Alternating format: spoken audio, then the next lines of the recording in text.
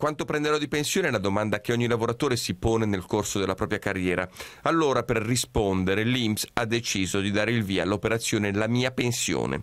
Da questa settimana, infatti, 5 milioni e mezzo di italiani riceveranno la cosiddetta busta arancione, ovvero la simulazione relativa all'importo dell'assegno che percepiranno finita la carriera lavorativa.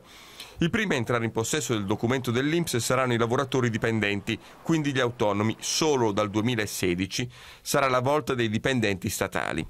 Ad oggi è del tutto utopico fare proiezioni su quanto prenderemo di pensione, ma qualche previsione è pur lecito farla.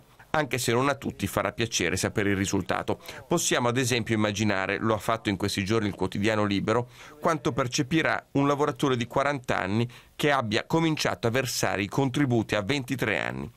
Bene, si salvano solo i dipendenti privati e gli statali, visto che i tassi di sostituzione, ossia il rapporto percentuale tra l'ultimo stipendio e la pensione, arrivano in questi due casi anche all'89%. A piangere sono soprattutto i lavoratori autonomi e i professionisti, che percepiranno fra il 28 e il 65% dell'ultimo stipendio.